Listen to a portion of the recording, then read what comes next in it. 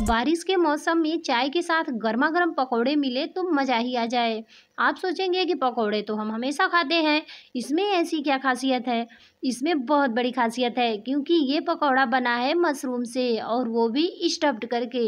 यकीन करिए, अगर आप इस पकौड़े को एक बार खा लिए तो आप इस पकौड़े को अपने घर पार्टी में ज़रूर बनाना चाहेंगे। क्योंकि इस पकौड़े का स्वाद ही गजब का है।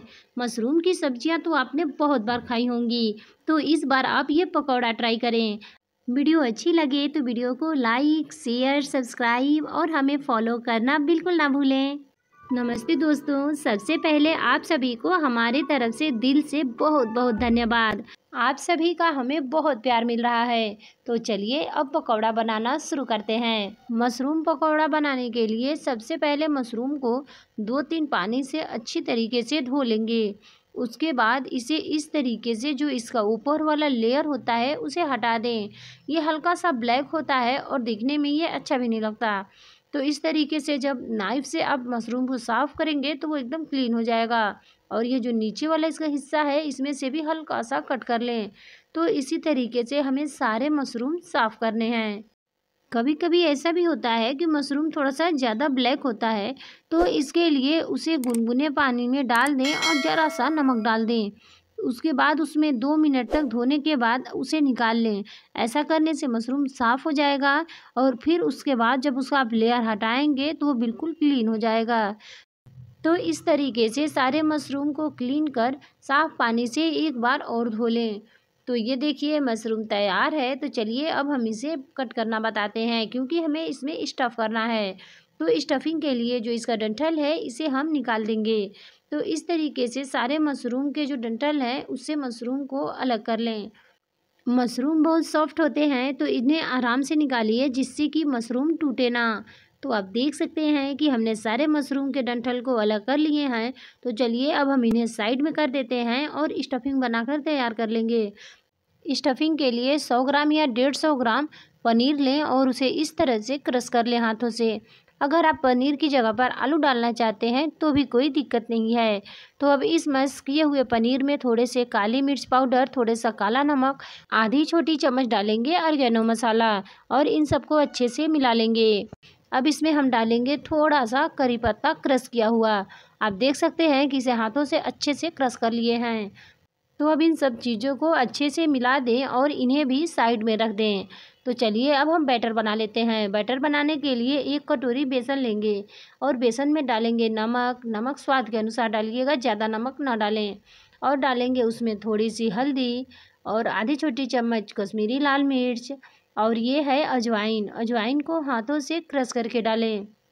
अब डालेंगे इसमें दो पिंच हींग, जो बहुत ही अच्छा टेस्ट देगा। और इसी के साथ डाल देते हैं आधी छोटी चम्मच काली मिर्च पाउडर और ये है लहसुन, अदरक और हरी मिर्च का पेस्ट। जो हरी मिर्च में लाल वाली मिर्च आती है, उसे हमने इसमें डालकर पीस दिया है। तो इसलिए ये लाल दिख रहा है। इस पकौड़े को कुरकुरा बनाने के लिए इसमें दो चम्मच चावल का आटा ज़रूर डालें। अगर चावल का आटा नहीं है तो पोहा को मिक्सर ग्राइंडर में चला दें और उसका फाइन पाउडर बनाकर एक चम्मच डाल दें। हम इसमें इसलिए नहीं डाल रहे हैं क्योंकि आज एकादशी है और एकादशी के दिन हम ये मशरूम पकौड़ा बना रहे हैं। अब इसमें लगभग एक कप पानी डालें और इसका अच्छा सा फेंट कर बैटर बना लें। ध्यान रखें कि एक साथ ज़्यादा पानी ना डालें। पहली बात कि हमें बैटर गाढ़ा रखना है और दूसरी चीज़ कि अगर बैटर पतला हो गया तो फिर आपके पकौड़े परफेक्ट नहीं बनेंगे। तो यहाँ ध्यान रखें कि बैटर को अच्छे से तीन से चार मिनट तक फेंटना है, जिससे कि ये थोड़ा फ्लपी हो जाए। अभी ये थोड़ा सा ज़्यादा ठीक लग रहा था तो हमने इसमें थोड़ा सा पानी और डाला है। और अब हम इसमें डाल देते हैं थोड़ा सा बेकिंग सोडा या फिर मीठा सोडा भी आप डाल सकते हैं। ध्यान रखें कि ज़्यादा न डालें, सिर्फ़ एक पिंच डालना है। और इसे डालकर इसे एक बार और मिला लें, इसे फेंटना नहीं है, सिर्फ़ मिलाना है। तो अब ये बैटर भी रेडी हो चुका है तो इसे साइड में रख देते हैं। और यहाँ पर हम मशरूम और ये जो मिक्सचर लिए थे, उसे साथ में रख लेते हैं। तो चलिए अब हम आपको दिखाते हैं कि मशरूम में ये स्टफिंग कैसे भरें। तो आप अच्छे से देखिए, ये जो कटोरी वाली मशरूम है, उसमें हम सारी स्टफिंग को ऐसे उंगली से दबाकर अच्छे से भर दे रहे हैं।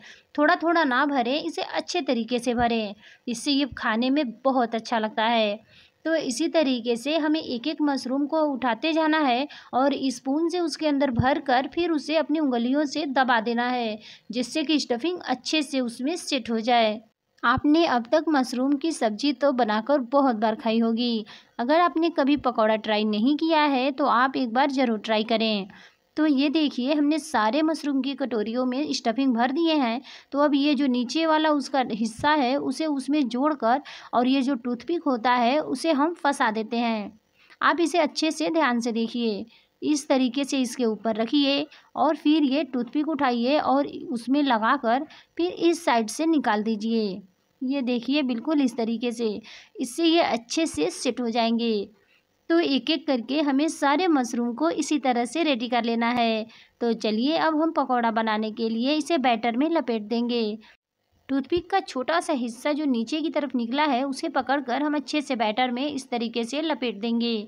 तो आप देख रहे हैं, इसके ऊपर बेसन का बैटर बहुत अच्छे से कोट हो गया है और हमने पहले ही कढ़ाई में तेल रख दिया था गर्म होने के लिए, जो कि गर्म हो गया है। तो एक एक करके हम इसी तरीके से पकौड़े को लपेटते हुए कढ़ाई में डाल देना है। मशरूम पकौड़ा बनाते समय हमें सबसे खास ध्यान ये रखना है कि जब आप इस पकौड़े को तलिए तो तेल को थोड़ा तेज़ गर्म रखिए, क्योंकि मशरूम में अपना मॉइस्चर होता है और जब वो छोड़ने लगेगा तो फिर पकौड़े तलने में दिक्कतें आएँगी। तो ये देखिए, तेल को हमने ज़्यादा गर्म किया था और फ्लेम को मीडियम टू हाई रखना है। तो इस तरीके से जब पकौड़े डाल दें तो उसके ऊपर इस तरीके से तेल को उठाकर डालें, जिससे कि जो पकौड़े का ऊपर वाला हिस्सा है, वो भी जल्दी से सीख जाएगा। तो इसी तरह से घुमाते हुए और अलटते पलटते हमें पकौड़े को गोल्डन ब्राउन होने तक सेक लेना है। फ्रेंड्स, हमने अपने चैनल पर बहुत ही टेस्टी और कुरकुरे पकौड़ी रेसिपी शेयर की है, जिसे आप डिस्क्रिप्शन बॉक्स में देख सकते हैं। तो ये देखिए, मशरूम पकौड़ा बहुत ही टेस्टी बना है और आप इसका कलर देख सकते हैं। तो इसे तलने में लगभग हमें तीन से चार मिनट लगे हैं और ये कुरकुरा पकौड़ा बनकर तैयार हो गया है। तो अब एक बैच और हम आपको तल कर दिखा दे रहे हैं। आप अगर थोड़ा सा ध्यान रखेंगे तो आप भी बहुत ही टेस्टी और कुरकुरा मशरूम पकौड़ा अपने घर पर बनाकर तैयार कर पाएँगे।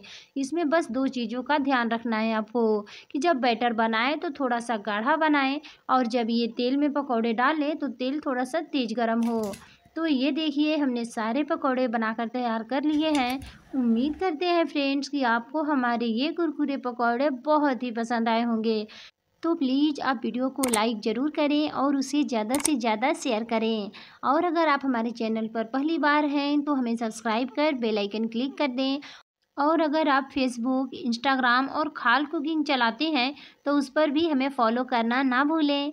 तो चलिए अब हम पकौड़ों को सर्व करने के लिए बताते हैं। तो सबसे पहले उसमें जो सीख है, वो निकाल दें और इसे कट करके हम आपको दिखा रहे हैं कि ये पकौड़े अंदर से देखने पर पता ही नहीं चल रहा है कि ये पकौड़े स्टफिंग कैसे हुए हैं। इसलिए जब भी आप किसी को सर्विंग के लिए दें तो आप ध्यान रखें कि आप सबका सीख निकाल दें। इससे कोई पकड़ ही नहीं पाएगा कि आपने इसमें स्टफिंग कैसे की है। तो है ना ये बहुत ही मज़ेदार रेसिपी तो चलिए खा कर दिखाते हैं कि ये कितना कुरकुरा बना है। इसकी आवाज़ से तो आप समझ ही गए होंगे कि ये पकौड़ा जितना खाने में टेस्टी है, उतना ही ये कुरकुरा है। तो मिलते हैं नए वीडियो में एक और नई रेसिपी के साथ। तब तक के लिए take care and bye bye.